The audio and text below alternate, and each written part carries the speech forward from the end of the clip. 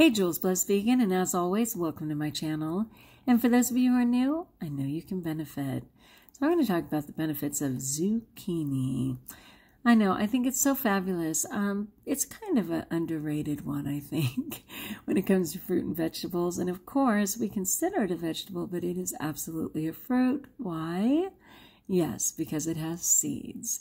Uh, but I absolutely love it. And for different reasons. Like when I first was introduced to it, I would only consider eating it fried, in breaded, and dipped in ranch dressing. Like that's all I knew about zucchini.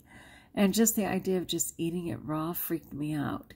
Now it would freak me out to think of frying that, and certainly dipping it in ranch dressing would freak me out. so it's interesting how times change, right?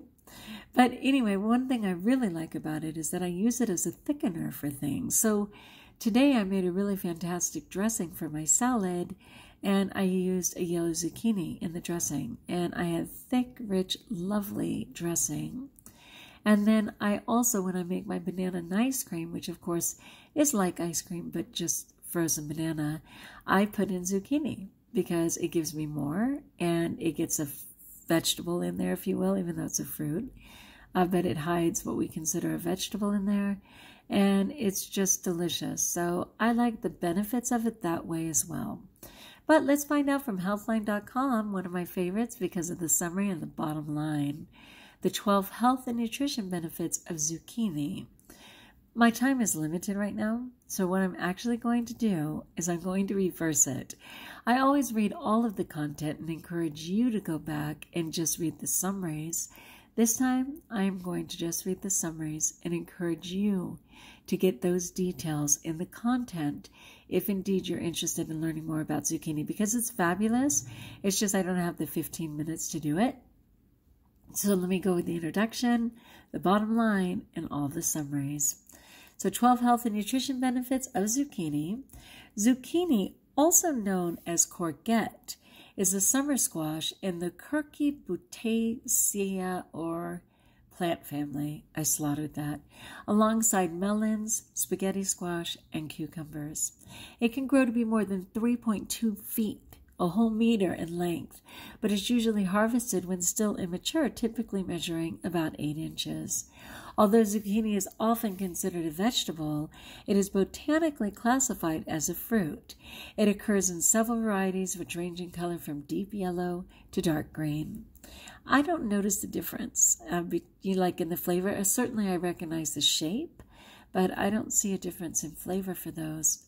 While squashes originated in the Americas, this particular variety was first developed in the early 1800s in Italy. Ah, prego. Zucchini has been used in folk medicine to treat colds, aches, and various health conditions. However, not all of its uses are backed by science, and that's okay. Folk medicine, we can't afford to have scientists back us, but people who live it know that it works. So these are 12 evidence based benefits of zucchini. Oh my gosh, I am such a die-hard teacher that I just can't even I, I just can't even imagine only telling the summary. Like there's so much good information here that I am going to rearrange my schedule and just do it. So again, go back and just read the summaries if that's you, but I have to share the whole thing. Bear with me, people. It's a good one. It's rich in many nutrients. Zucchini is rich in several vitamins, minerals, and other beneficial plant compounds. One cup of cooked zucchini, and again, I prefer it raw, um, but it's an interesting trade out here. So one cup has 17 calories, that's all. One gram of protein, less than a gram of fat, three grams of carbs, one gram of sugar, one gram of fiber, which is fabulous, and then vitamin A, 40% of the recommended daily, manganese 16, vitamin C 14, potassium 13, manganese, I mean, forgive me, magnesium 10, vitamin K 9, folate 8, copper 8, phosphorus 7, vitamin B6 7, thiamine 5. Hello, do you see that list? My gosh, seriously, what is that list? Let me see. It is astounding how many benefits. God, like 15. It also contains small amounts of iron, calcium, zinc, and several other B vitamins. It's another miracle food sponsored by God. In particular, its ample vitamin A content may support your vision. I love that. And immune system. COVID, anyone? Raw zucchini offers a similar nutritional profile as cooked zucchini, and this is the interesting part, but with less vitamin A and more vitamin C, a nutrient which tends to be reduced when cooking. It's high in antioxidants. Zucchini is also rich in antioxidants. Antioxidants, a hyperlink, are beneficial plant compounds. Plant that help protect your body from damage by free radicals. Carotenoids such as lutein and zeaxanthin and beta carotene are particularly plentiful in zucchini.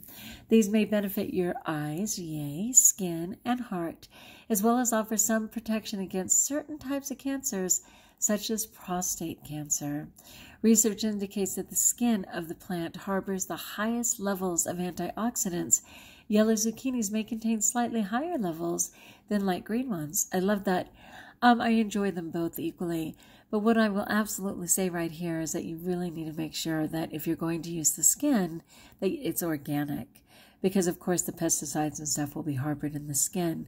Otherwise, if you're not doing organic, removing the skin will give you a much better chance of getting the healthy vegetable without all the pesticides. All right. Contributes to healthy digestion. I had no idea that people struggled so much with their microbiome and their gut health and and it's such a major deal. So if it helps with healthy digestion, I'm sure people welcome that. Zucchini may promote healthy digestion in several ways. For starters, it's rich in water, which can soften stools. This makes them easier to pass and reduces your chances of constipation, which is great. Zucchini also contains both soluble and insoluble fiber. Insoluble fiber adds bulk to stools and helps food move through your gut more easily, further reducing constipation risks. This benefit is compounded if you have enough fluids in your diet. Meanwhile, soluble fiber feeds the beneficial bacteria living in your gut. In turn, these friendly bacteria produce short chain fatty acids, or SCFAs, that nourish your gut cells. What's more, SCFAs may help reduce inflammation and symptoms of certain gut disorders, such as irritable bowel syndrome, Crohn's disease, and ulcerative colitis. So important. Number four, it may reduce blood sugar levels. Again, crazy important in today's society. Zucchini may help lower blood sugar levels in people with type 2 diabetes. At 3 grams of carbs per cooked cup, zucchini provides a great low carb alternative to pasta for those looking to reduce carb intake. It can be spiralized or sliced to replace spaghetti, linguine, and lasagna noodles in dishes. And of course, that's true for raw as well. I spiralize zucchini noodles and I eat them with salsa or a tomato sauce, and they're crazy delicious. Um, also, I do make them in lasagna noodle form raw. And It is okay. Low carb diets can significantly lower blood sugar and insulin levels, both of which may keep blood sugar levels stable and reduce the need for medication in people with type 2 diabetes. What's more, zucchini fiber helps stabilize blood sugar, preventing levels from spiking after meals. Yay! Diets rich in fiber from fruits and vegetables, including zucchini, are consistently linked to the lower risk of type 2 diabetes. I love that. The fiber found in zucchini may also help increase insulin sensitivity, which can help stabilize blood sugar as well. Additionally, animal studies note that zucchini peel extract may help reduce blood sugar and insulin levels. This may be due to the skin's potent antioxidants. However, human research is still needed. I wish they would just start with humans, but they keep mentioning peel extract, and I'm very curious about that. Number five, it may improve heart health. Zucchini may also contribute to heart health, another hyperlink. Its high fiber content may be largely responsible. Observational studies show that people who eat more fiber have a lower risk of heart disease. Pectin, one type of soluble fiber found in zucchini, appears particularly effective at reducing total and bad LDL cholesterol levels. Yay, because I'm going to have mine tested next month. In a review of 67 studies, that's significant. Consuming as little as 2 to 10 grams of soluble fiber per day for around 1 to 2 months reduced on average total cholesterol by 1.7 milligram DL and bad LDL cholesterol by 2.2 milligram DL, which is fabulous. Zucchini is also rich in potassium, which may help reduce high blood pressure by dilating your blood vessels. Healthier blood pressure is linked to a lower risk of heart disease and stroke. Moreover, diets with rich in carotenoids, likewise found in zucchini, appear particularly protective against heart disease. It's a pretty fabulous fruit slash vegetable. it may strengthen your vision. Uh, I always welcome that. I just don't want any more eye trouble than I have as a child. This is a sidebar, but as a child, I wore glasses like literally starting at two years old, they started putting drops in my eyes, and by three, I had glasses, and I was cross-eyed. When I'm tired, one of my eyes will still cross, but I was considered cross-eyed. I saw two of everything, and I had to wear glasses until I was about 15. At 15, my parents got me contacts, which I promptly destroyed, and I just couldn't keep them up. And so they were like, well, forget it. If you want to wear glasses or contacts, you're going to have to earn them.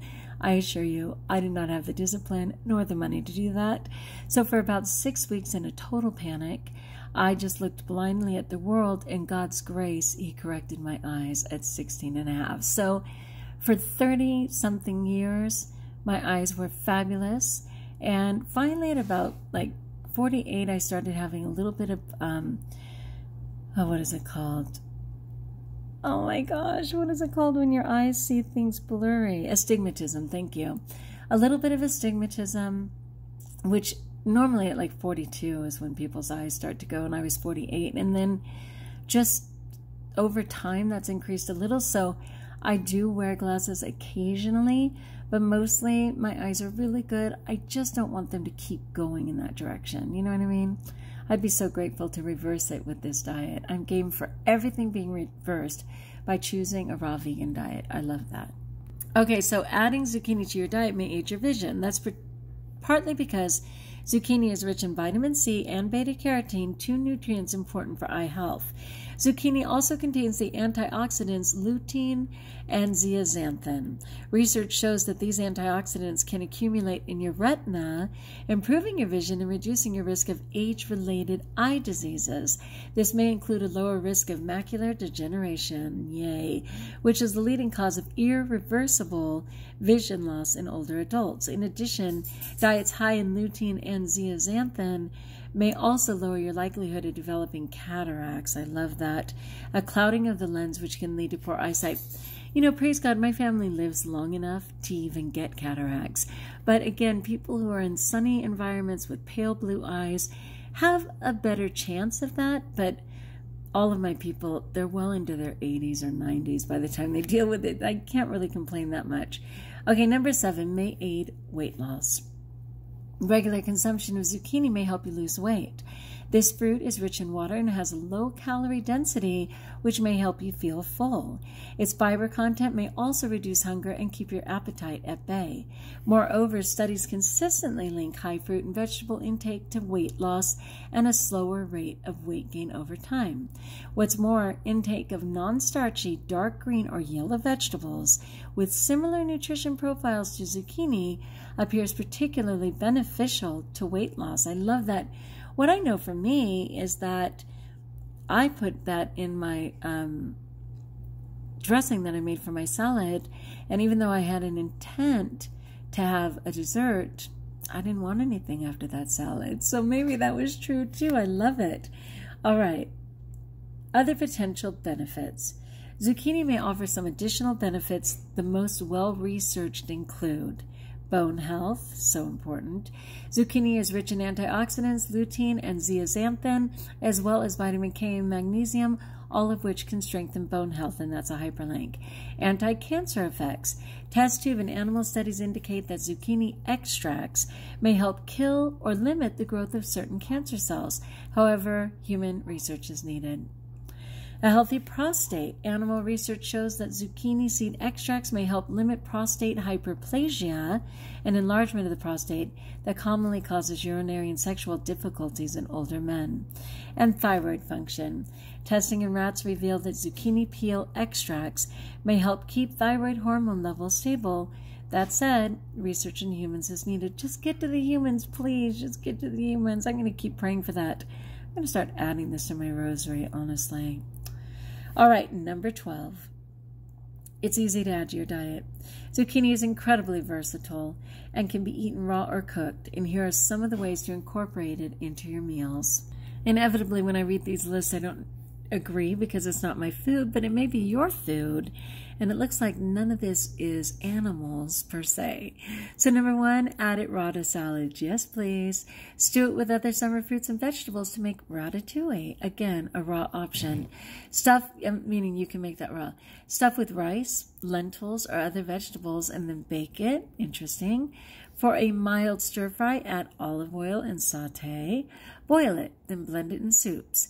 Serve it as a side, grilled or sauteed with a little garlic and onion. Try it breaded or fried, as I already suggested so long ago. Spiralize it into spaghetti or linguine like noodles, or slice it to replace lasagna sheets. I've done all of that and I love that. Bake it into breads, pancakes, muffins, or cakes. I totally forgot. I used to love zucchini bread. Oh my goodness. Over 30 years ago, when my husband and I were first dating, we used to love vegetable soup with zucchini bread at Hof's Hut. Do they still have Hof's Hut?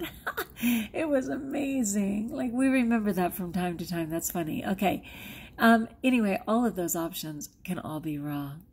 In some cultures, the zucchini flower is considered a delicacy. You can either deep fry it or sprinkle it raw atop salads, soups, or stews. Yes, please.